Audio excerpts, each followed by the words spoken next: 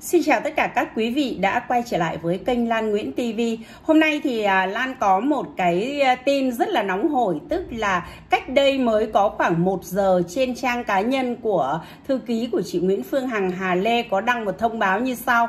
Quý vị thân mến, cha mẹ của Diễm My trong vụ thiền am bên bờ vũ trụ đã tìm đến cung cấp thông tin cho tôi vì họ đã đi tìm con trong tuyệt vọng và họ đã cầu cứu tôi. Phải chăng đó là định mệnh phải không quý vị? Tôi sẽ live stream vào lúc 17 giờ Chủ nhật ngày 24 tháng 10 năm 2021 để chia sẻ về việc này. Đây là một vụ án nhức nhối chưa từng đi đến hồi kết. Để rộng đường dư luận về những sự thật đúng sai tôi sẽ minh chứng lại cho các quý vị vào lúc 17 giờ chủ nhật cùng với cha mẹ của em Diễm My để nói về những góc khuất đen tối và muốn tìm lại con của mình nhờ công an sớm vào cuộc. Như vậy là uh, rất nhiều người nói rằng là giờ này chị Nguyễn Phương Hằng hãy dừng đi và để cho công an vào cuộc. Và chắc chắn là chị Nguyễn Phương Hằng cũng không muốn là mình phải quá vất vả như vậy. Nhưng mà bây giờ thì chị giống như là bao công cho những người ờ, ờ, thấp cổ bé họng ấy, cho nên là việc quá nhiều, cho nên chị Nguyễn Phương Hằng vẫn phải nhiều chuyện. Và chị cũng thông báo thêm rằng vào 17 giờ chiều Chủ nhật ngày 24 tháng 10 thì ờ, trong buổi live stream thì chị sẽ giao lưu văn nghệ và chị sẽ nói về thuyết âm mưu của nhà báo Bơ ẩn và luật sư Bơ ẩn vào 17 giờ chiều Chủ nhật ngày 24 tháng 10 năm 2021. Như vậy là chúng ta thấy là rất nhiều vấn đề mà mỗi ngày chị Nguyễn Phương Hằng lại à, đem đến cho chúng ta và liệu rằng chị Nguyễn Phương Hằng có đủ sức để mà liên tục liên tục có những cái đống rác mà sẽ phải dọn hay không thì thôi chúng ta hãy cùng cố gắng có những cái năng lượng để tiếp thêm sức mạnh cho chị Nguyễn Phương Hằng làm những cái công việc mà từ trước đến nay không ai làm được và cũng không ai dám làm. Quay trở lại với câu chuyện về à, nữ ca sĩ Thủy Triều đi làm từ thiện và giải ngân các cái số tiền từ thiện tại uh, miền Trung thì ngày hôm nay trên báo Công an Nhân dân có một bài viết hết sức là khách quan để uh, truyền tải cho chúng ta những cái quá trình mà công an đã đi điều tra và bây giờ thì rõ ràng là Bộ Công an đã vào cuộc, chính phủ đã vào cuộc, tức là Trung ương đã vào cuộc. Cho nên tất cả những lời kêu cứu của chị Nguyễn Phương Hằng, Lan chắc chắn một điều là sẽ không bao giờ rơi vào sự im lặng. À, ngày hôm nay thì báo Công an Nhân dân điện tử có một bài đăng ca sĩ Thủy trao quà từ thiện ở Quảng Trị như thế nào. Tức là phóng viên nhà báo đã bắt đầu đi làm những cái phóng sự điều tra và đây là báo Công an Nhân dân chứ không phải ở phía thành phố Hồ Chí Minh cũng không phải báo pháp luật thành phố Hồ Chí Minh nữa cho nên chúng ta hoàn toàn yên tâm vào trung ương và vào chính phủ vào Bộ Công an để có cái nhìn khách quan thì phóng viên báo Công an Nhân dân đã đi kiểm tra thực tế, xác minh quá trình nữ ca sĩ Thủy Triều tổ chức trao từ thiện tại một số địa phương trên địa bàn tỉnh Quảng Trị. Đợt mưa bão tháng 10 năm 2020 nhiều địa phương ở khu vực miền Trung thì đã gánh chịu thiệt hại nặng nề về người và tài sản. Chia sẻ khó khăn hoạn nạn với đồng bào miền Trung thì người dân cả nước và kiều bào ở nước ngoài đã gửi những đồng tiền quyên góp ủng hộ rất lớn về mặt vật chất. Trong đó thì có việc nữ ca sĩ Thủy Triều đã đến một số nơi để trao hỗ trợ tiền từ thiện do những tấm lòng hảo tâm đóng góp đến tận tay người dân. Việc làm này của nữ ca sĩ Thủy Triều ban đầu được rất nhiều lời khen ngợi, nhưng về sau thì lại có quá nhiều những ý kiến trái chiều, nghi ngờ và thậm chí là đề nghị cơ quan chức năng phải làm rõ. Để có cái nhìn khách quan thì báo để có cái nhìn khách quan thì phóng viên báo Công an Nhân dân đã đi kiểm tra thực tế xác minh quá trình nữ ca sĩ Thủy Triều tổ chức trao tiền từ thiện tại một số địa phương trên địa bàn tỉnh Quảng Trị. Tại huyện Hải Lăng, những cán bộ có trách nhiệm cho biết vào đầu tháng 11 năm 2020, đoàn của ca sĩ Thủy Triều đã đến liên hệ chính quyền huyện trao quà cho người dân với yêu cầu là trao cho những hộ dân bị ngập lụt trên 1 mét. Tuy nhiên thì sau khi trao quà được ở một số xã thì có sự tranh cãi về việc đối tượng được trao nên việc trao quà đã tạm thời dừng lại. Trong đó thì có một số người dân đã phản ảnh rằng không có ít người giàu có đeo vàng đá quý nhưng vẫn đến nhận quà. Hay như gia đình nhà ông T,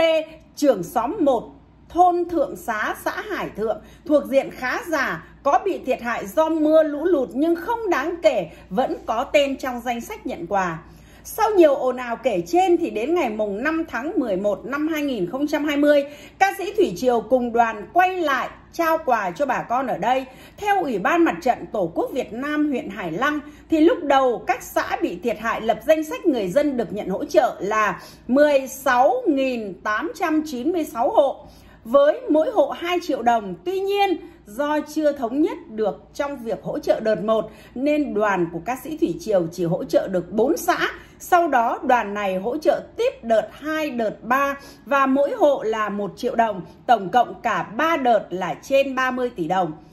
Còn tại huyện Triệu Phong thì ngày mùng 4 tháng 11 năm 2020, đoàn của ca sĩ Thủy Triều tổ chức trao quà cho người dân 6 xã gồm Triệu Đô, Triệu Long, Triệu Thành, Triệu Thương, Triệu Giang và Triệu Ái.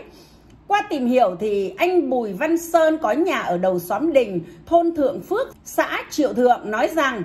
Đợt lũ lụt tháng 10 năm 2020, nhà anh bị ngập từ mặt sàn lên nhà là 1m2, còn ở cổng thì sâu tới 1m7. Bên cạnh đó, còn các nhà anh Phan Văn Nam, Trần Văn Sơn cũng bị ngập nặng nhất xóm từ 1 đến 1,2 mét nhưng đều không được nhận quà do ca sĩ Thủy Triều phát. Riêng gia đình bố của anh Sơn là ông Bùi Văn Khuyến ở cùng xóm thuộc diện hộ nghèo nhận được 3 triệu đồng. Còn anh Hoàng Xuân Đông trưởng thôn Thượng Phước cho hay đợt lũ lụt tháng 10 năm 2020 trên địa bàn thôn có rất nhiều nhà bị ngập nặng và thiệt hại do lũ lụt gây ra. Tuy nhiên, theo chủ trương của xã đưa về, chỉ chọn hộ nghèo và cận nghèo mới được nhận quà do ca sĩ Thủy Triều phát. Theo đó, chỉ có những người nằm trong danh sách được lập mới được phát quà. Ngoài ra, có vài trường hợp đưa người nhà bị tàn tật, đau yếu đến nhận. Được ca sĩ Thủy Triều cho thêm mỗi trường hợp từ 500 tới 1 triệu đồng.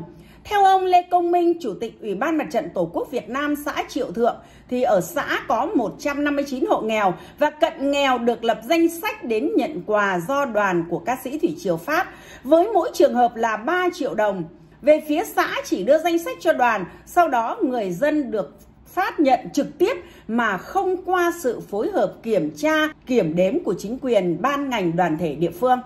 Ông Trần Việt Dũng, Chủ tịch Ủy ban Mặt trận Tổ quốc Việt Nam huyện Triệu Phong khẳng định ông là người có mặt từ đầu đến cuối quá trình ca sĩ Thủy Triều và đoàn của cô ca sĩ này phát quà cho những người dân trên địa bàn. Cụ thể là ngày mùng 3 tháng 11 năm 2020, ca sĩ Thủy Triều đề nghị xét những hoàn cảnh khó khăn bị ảnh hưởng do lũ lụt để trao quà ở 6 xã nói trên. Theo đó, thì Ủy ban Mặt trận Tổ quốc Việt Nam các xã này đều thống kê số hộ nghèo và cận nghèo để nhận quà với tổng cộng là 898 hộ. Đến sáng hôm sau ngày mùng 4 tháng 11, việc trao quà và nhận quà được tổ chức tại hai địa điểm là trụ sở Ủy ban Mặt trận Tổ quốc Việt Nam huyện và nhà văn hóa huyện. Khi đến các điểm trao quà thì người dân được phát phiếu từ trước nên các hộ có tên trong danh sách lần lượt đến đưa phiếu rồi nhận 3 triệu đồng tiền mặt. Trong quá trình này thì có một số hộ đã nhận đủ 3 triệu đồng rồi nhưng ca sĩ Thủy Triều thấy họ khổ nên có thể cho thêm mỗi hộ 500.000 đồng, có hộ thì được 1 triệu đồng. Ngoài ra sau khi trao quà xong thì số người có tên trong danh sách ở sân vẫn còn khoảng 50 đến 70 người từ nhiều nơi khác đến. Trong đó đã có những người tàn tật, ốm đau, họ đến xin quà vì quá khó khăn nên ca sĩ Thủy Triều có trao cho mỗi người khoảng từ 500.000 đồng hoặc là 1 triệu đồng. Đáng nói là khi trao được khoảng một nửa số người có mặt ở sân này thì xảy ra tình trạng mất trật tự nên đoàn của ca sĩ Thủy Triều đã rời đi. Chúng tôi thống kê số hộ nhận quà theo danh sách là 891 hộ với số tiền khoảng 2,673 tỷ đồng. Còn 7 hộ không đến nhận quà, ông Dũng nói.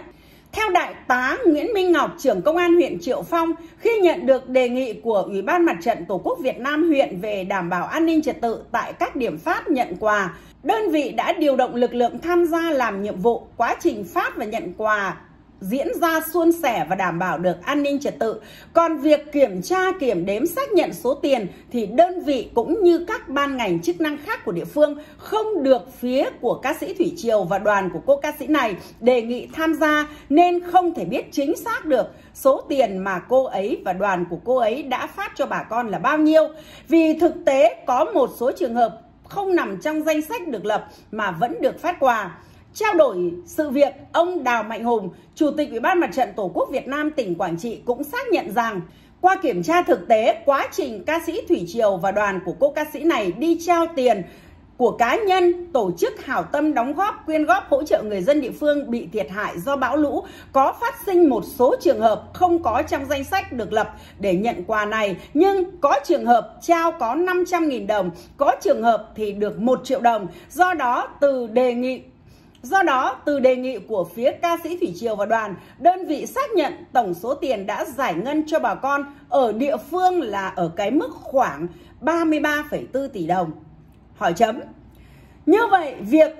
ca sĩ Thủy Triều đề nghị lập danh sách hộ dân được nhận quà từ thiện, chính quyền ban ngành chức năng, đoàn thể địa phương đưa ra phương án xét chọn đến quá trình trao quà cho bà con thì cô ca sĩ này đã bộc lộ quá nhiều điểm không đúng thực tế, không thống nhất, đặc biệt là không đúng đối tượng bị thiệt hại. Điều này cho thấy trong quá trình hoạt động từ thiện xã hội, nếu bất kỳ một cá nhân nào đứng ra kêu gọi quyên góp làm từ thiện cụ thể như là giúp đỡ người dân bị thiên tai bão lụt mà không thông qua chính quyền ban ngành chức năng cơ sở để có một sự phối hợp trong việc tổ chức trao quà, nhất là lập danh sách để kiểm tra danh sách người thụ hưởng, kiểm đếm được số tiền và giám sát thực tế thì chắc chắn là rất dễ phát sinh ra tiêu cực. Thì đây chính là một bài báo rất khách quan của phóng viên báo Công an Nhân dân đã trực tiếp đi và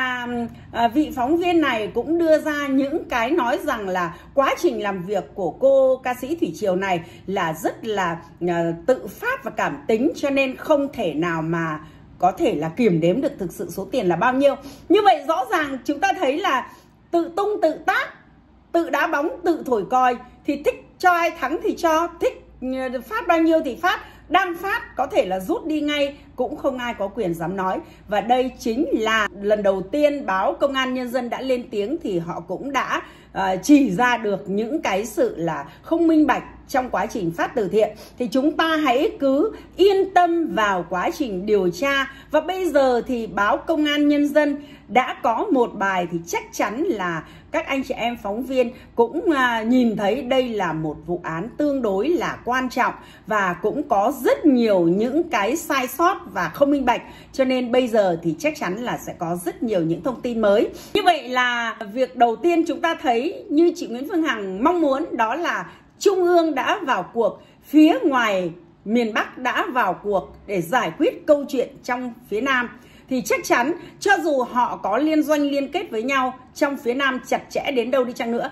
thì tính khách quan và sự quán triệt từ bác Tổng Bí thư Nguyễn Phú Trọng, từ Bộ Công an, từ Trung tướng Tô Ân Sô và từ việc làm bắt đầu gấp rút của các phóng viên báo Công an Nhân dân thì chúng ta tin rằng câu chuyện này sẽ chắc chắn sớm được sáng tỏ. Bây giờ thì Lan xin tạm dừng video tại đây. Cảm ơn mọi người đã lắng nghe những thông tin mà ngày hôm nay Lan đã chia sẻ. Xin chào và hẹn gặp lại các quý vị ở những video tiếp theo. Bye bye!